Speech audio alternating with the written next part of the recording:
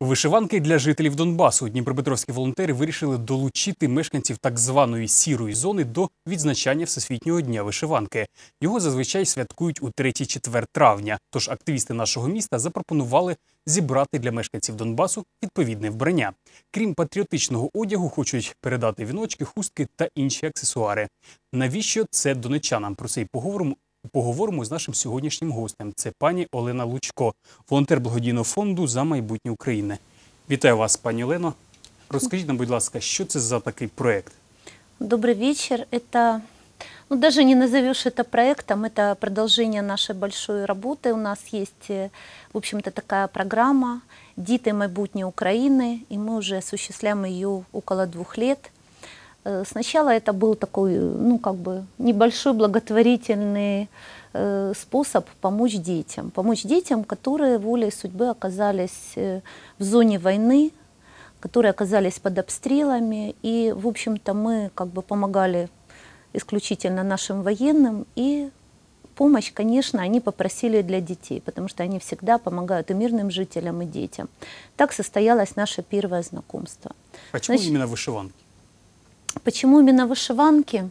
Знаете, потому что вот я просто расскажу, как это произошло. 5 марта мы приехали в город Красногоровку, и, в общем-то, там э, хотели порадовать детей, были организаторами такого праздника весны для самых маленьких. Маленькие детки, которые уже два года не ходят в садик, у них дефицит общения, у них была возможность выйти, потанцевать, и местные жители приготовили чудесный концерт. Выступало очень много детей, и когда дети вышли э, в национальной одежде, красивые, э, с песней, я увидела, рядом стояла преподаватель, которая просто не сдерживала слез. Она плакала и говорила, боже мой, неужели я когда-то на наших улицах увижу детей в вышиванках?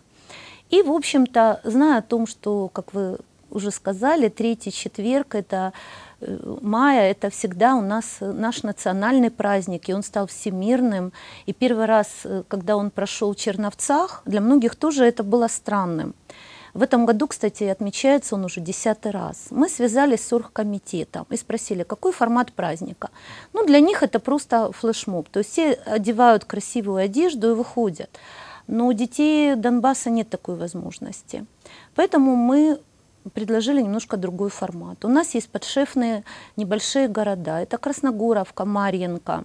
Присоединились к нам киевские волонтеры, присоединились волонтеры Ивано-Франковска, из Мариуполя, Павлоград. И вчера у нас был звонок из Краматорска. Они тоже хотят присоединиться к нашей акции. И это будет выглядеть так. То есть дети, и не только дети, молодежь, все желающие, они участвуют в конкурсе «Моя краина Украина». Победители конкурса получают вышиванку. То есть это должно идти от сердца. Не просто ты одеваешь вышиванку, а ты понимаешь, что это такое, что это наш действительно генетичный код, что это оберег. Мы готовим небольшие информационные листки, там, где мы будем рассказывать, что каждый регион Украины имеет свою уникальную вышивку, значение этой вышивки. Очень многие дети тянутся и хотят ну, вот, получать такие знания, потому что не просто на голову одеть венок, да? надо понимать почему, что есть девичьи венки, что есть женские венки. То есть наша эта акция, она направлена именно ну, на, можно сказать, как-то мы хотим прорастить да, нашу национальную культуру, потому что все-таки этот регион для них это очень сложно. И, конечно, поддержать тех патриотов, которые очень хотят одеть вышиванку, национальную одежду и выйти на улицу. Я так понял, встретили вас хорошо. А как в плане безопасности? Как, как для вас это было там передвигаться? Вы знаете, ну мы уже туда ездим два года, то есть, ну, в общем-то, ну, для нас мы не боимся, потому что мы сотрудничаем и с местными властями, и с комендатурой, и потом поддержка военных всегда с нами. Когда мы, допустим, привозим, везем детей, потому что у нас программа, мы привозим на каникулы детей в Днепропетровск, здесь, в общем-то, им рассказываем о том, какая должна быть и мирная жизнь, и даем им, ну, в общем-то, взгляд и правильное видение есть вы не боитесь, будущего. получается? Нет, мы не а, боимся. а как вас воспринимают? Ну, уже хорошо. Вначале это было сложно, потому что было много недоверия, потому что звучали постоянно фразы «Зачем вам это нужно?», что, какой, какие цели вы преследуете. Очень многие вот относительно детей, детей нам не доверяли. А сейчас уже такие вот мостки доверия, мы их уже выстроили и хотим укреплять. Если мы уже заговорили за безопасность, вообще для местных жителей надевать на себя вышиванку это безопасно? Ну, Не подвергаете ли вы их риску? Вы знаете, вот мы об этом думали, поэтому мы предложили такой формат конкурса. То есть только та семья, которая поддержит своего ребенка и примет решение ну, вместе с ним, даст разрешение ребенку участвовать в этом конкурсе. Потому что ну, вот мы читали, слышали, есть такие инициативы, к примеру, собрать там 100 вышиванок, приехать и одеть всех школьников. Мы считаем, что это неправильно. То есть это будет в виде конкурса? да? Конечно, да. То есть Что это должно конкурс? быть желание. Это вот творческих работ. 18-19 мая мы подводим итоги этого конкурса, и победители оденут вышиванки. Будет конкурс национальной пищи, будет конкурс у нас обязательно на лучший костюм. То есть мы хотим это сделать, чтобы это поддерживалось и исходило именно от местных жителей. Они готовят концерт, будет очень интересно. А жители города, как они могут вам помочь в этом мероприятии? Ну, жители города, они тоже будут делать э, такую своеобразную выставку хендмейда, потому что раньше они, я знаю, вяжут и шьют, и у них есть студия кукол-мотанок. Ну, мы сейчас говорим, допустим, о городе Красногоровка. Вот. У них есть чудесная студия. Дети приезжали к нам, и у них было два класса, мастер-класса Петриковки. Их обучали мастера. К нам приезжала чудесная детская студия «Дивоцвет», там, где работает ну, народный мастер, и дети детям давали вот такие вот мастер-классы.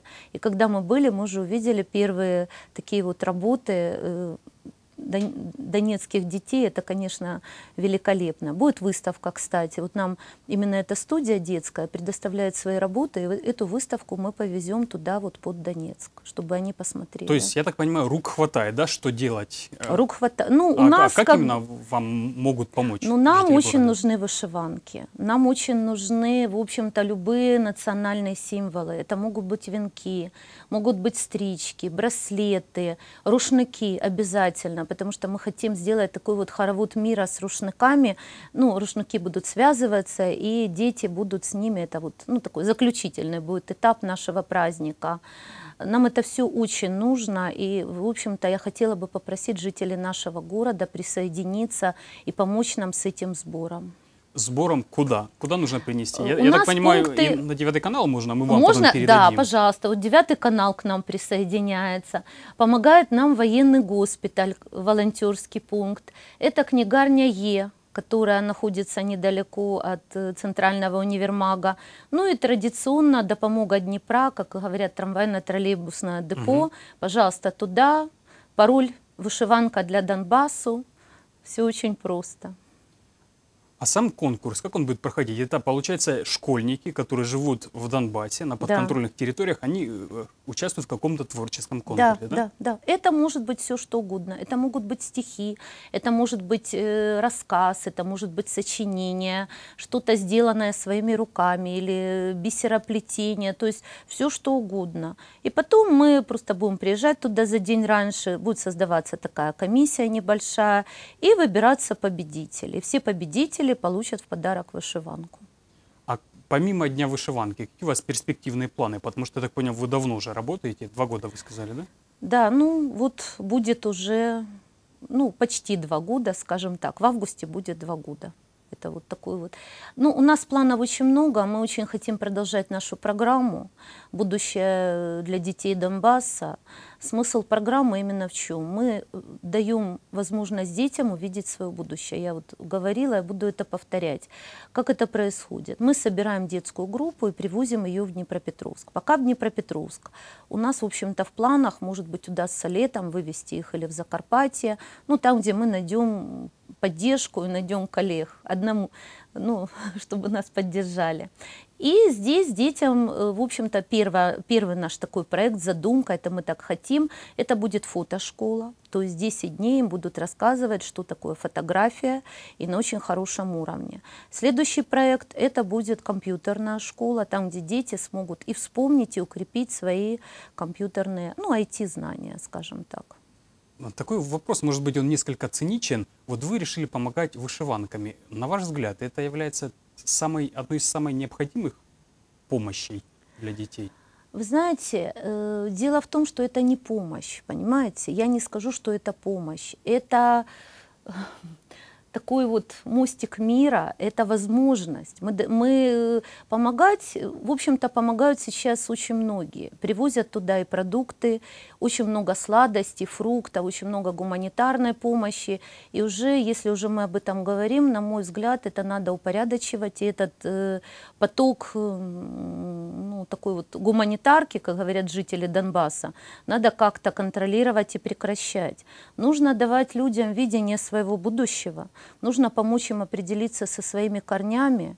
И э, вот именно то, что мы дадим возможность детям от сердца одеть вышиванки, почувствовать себя гражданами нашей страны, потому что дети там чудесные, они очень разумные.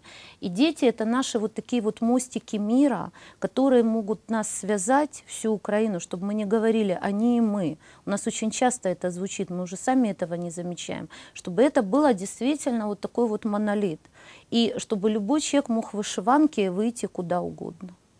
Во время каникул вы проводили профориентацию для этих детей, Да, да? Да. Вы их привозили в Днепропетровск, Да. и здесь им рассказывали. Какие результаты? Они, кто-то из них изъявил желание поступать Да, у например, в нас два человека, я еще боюсь, знаете как, фу-фу-фу, два человека собираются приезжать. И в следующем году, я думаю, еще несколько ребят.